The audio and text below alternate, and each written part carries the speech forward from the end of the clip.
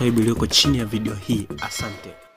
Mpenzi mtazamaji wa Bongo One Media, karibu tena katika dawati letu la michezo, tukizidi kukuangazia taarifa na habari mbalimbali ambazo zinajiri ndani lakini pia na nje ya Tanzania. Ligi baada ya kumalizika katika msimu wa 2023 2024 na sasa tuko msimu wa 2024 2025 na hiki ndio kipindi cha mambo mengi. Utasikia stori hii, utasikia stori ile. Ni katika masuala ya kiusajili, wachezaji wanaondoka timu moja na kwenda timu nyingine, na kama kawaida Bongo One Media tumekuwa na kawaida ya kujuza taarifa za kiusajili zinazojiri katika hizi timu kubwa zinazotikisa katika ligi kuu ya Tanzania katika misimu ya hivi karibuni. Hapa tunawataja mabingwa wa nchi, mabingwa wa kihistoria, timu ya Dar Young African, lakini pia tunakuja kuwataja wale mababe wa michuano ya kimataifa Simba Sports Club. Hizi ni timu mbili kubwa ambazo zinatikisa katika masuala ya kiusajili na ndizo zinazosumbua katika ligi kuu ya Tanzania. Msimu huu tumeipata challenge kubwa mara baada ya kuona na Azam akishika nafasi ya pili, naye amekuwa ni mwakilishi katika michuano ya kimataifa, japo performance yake katika michuano ya kimataifa imekuwa sio nzuri. Amekuwa akiondolewa mapema kabisa. Sio lengo langu. Lengo ni nini? Tunauzungumzia usajili, na usajili ambao tunaozungumzia dakika hii au leo hii ni usajili unaoendelea ndani ya timu ya Yanga. Lakini tukiachana na masuala ya usajili, ikiwa tayari nishakutajia orodha ya wachezaji ambao wanasajiliwa ndani ya Yanga, leo nakuletea orodha ya wachezaji ambao wanaondoka ndani ya Yanga. Kubwa ni kusikiliza kwa makini, kisha kujua ni nani na nani wanaondoka ndani ya Yanga na sababu za kuondoka ndani ya timu hiyo zimekaa vipi. Kikubwa subscribe kama ndo kwanza kabisa unatembelea YouTube channel yetu, na tuambie wewe ni shabiki wa timu gani na unafuatilia Bongo Media ukiwa unatokea maeneo gani na unaipenda timu yako kwa asilimia ngapi. Kama ni Yanga, andika naipenda Yanga kwa asilimia kadhaa na naifuatilia Bongo Media nikiwa natokea maeneo fulani. Kama ni Simba vivyo hivyo, lakini pia na kwa upande wa Azam. Tukianza wachezaji ambao wanaondoka ndani ya Yanga ambao ndio orodha, lakini pia ndio lengo letu kwa leo, tutaanza na beki wa kushoto, beki aliyeko mbavu ya kushoto. Huyu ana uraia wa DR Congo, ni mchezaji mzuri, lakini Yanga wameona wamalizane naye, huku wakiwa wanatafuta mchezaji ambaye ni bora zaidi, wakiwa wanatafuta sifa ambazo ni ni nzuri. Kwanza wanamtafuta mchezaji ambaye ana uwezo mkubwa katika kasi, speed, nikiwa namaanisha hivyo, lakini pia natafuta mchezaji mwenye nguvu na mwenye akili na timing za kutosha, na mchezaji ambaye anaweza akapiga tackling vizuri na kuhakikisha anaondoa mashambulizi, na ndio maana wanaachana na Joilo Malisa Mtambala. So mchezaji wa kwanza ambaye Yanga wanaachana naye akiwa wa kwanza ni Joilo Malisa Mtambala, na wenda wiki ijayo Yanga wakaanza kutoa thank you thank you kama tulivyozoea.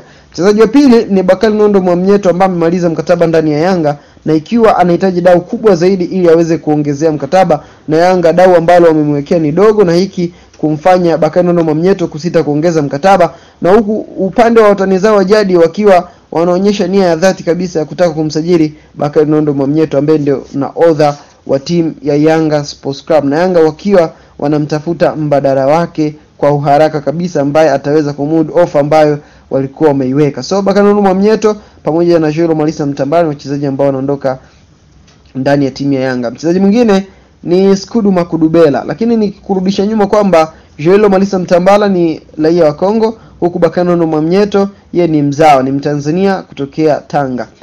Uh, mchezaji mwingine ni Skudu Makudubela, mchezaji wa tatu huyu. Usisahau alijiunga na timu ya Yanga akitokea uh, Malumo Gallants ya Afrika ya Kusini na hapa walikutana na Yanga katika michuano ya kimataifa. Hii iliwavutia Yanga kuona mchezaji huyu anawafaa na walimpa mkataba wa mwaka mmoja. Kitu kingine ambacho kinamfanya Skudu Makudubela anaondoka ndani ya Yanga ni umri wake.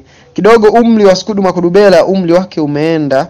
Yes, tukizungumzia wachezaji ambao umri umeenda, basi na Skudu na kiwango chake ni cha kawaida, na ndio maana walimpa mkataba wa muda mfupi kuona ni vipi ataweza kufanya, vipi ataperform vizuri au mambo yatakaa vipi, lakini performance yake imekuwa ni ya kawaida na amekuwa anapata nafasi mara chache sana kiwanjani kama tulivyoona.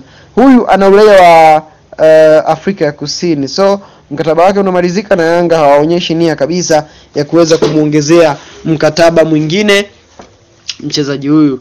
Mchezaji mwingine sasa, huyu kidogo ni gumzo Yes, naweza nikasema miongoni mwa wachezaji ambao ni gumzo Yanga Sports Club kuwaachia ni Steven Aziz Ki, na wengi walikuwa wakijiuliza inakuwa vipi.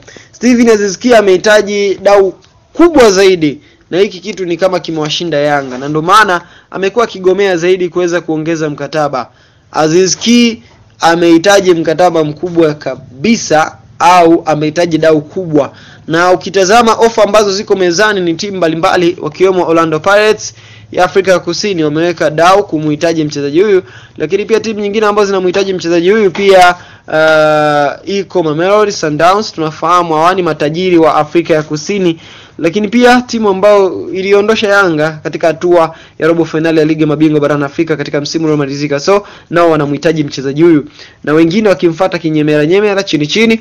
Kulingana na mkataba aliobakiza Steven Aziz Ki ndani ya Yanga, anaruhusiwa kuzungumza na timu yoyote. Kama tunavyofahamu sheria za FIFA na CAF katika masuala ya kiusajili, mchezaji mkataba wake ukibakiwa miezi sita anaruhusiwa kuzungumza na timu yoyote. Pia inadaiwa na Simba nao wanamhitaji mchezaji huyu, na huku wakiwa wanatazama kwa jicho la pili Chama kwamba wamwachie Chama alafu kisha waweze kunasa saini ya Steven Aziz Ki, Mbukina Faso huyu ambaye alijiunga na Yanga akitokea timu ya ASEC Mimosa ya Ivory Coast.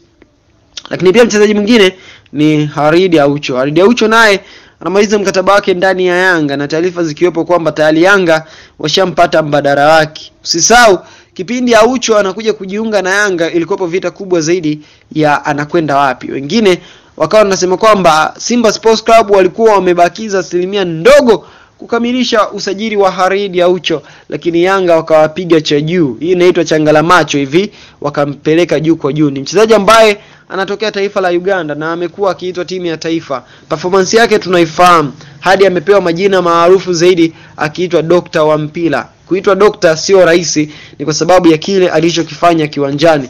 So Dr. Harid Aucho eh, kutokea taifa la Uganda anaondoka ndani ya timu ya, ya Young African na sababu kubwa zikiwa ni kumaliza mkataba wake, lakini pia na dau kubwa ambalo analihitaji, ambapo Yanga wameona wanaweza wakapata wachezaji wengine ambao wenye ubora zaidi yake na kwa dau ambalo wao wanakuwa wameliweka mezani na mambo mengine kama hayo.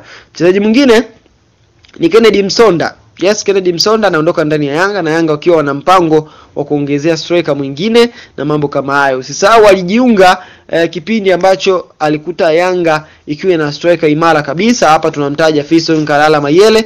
So kipindi anajiunga na Yanga alikutana na upinzani mkubwa, kwa hiyo akaendelea kucheza kama wings lakini pia akaendelea kucheza kama second striker. So naye e, inadaiwa kwamba kuna wachezaji wanakuja kusajiliwa ma striker ambao atawapisha.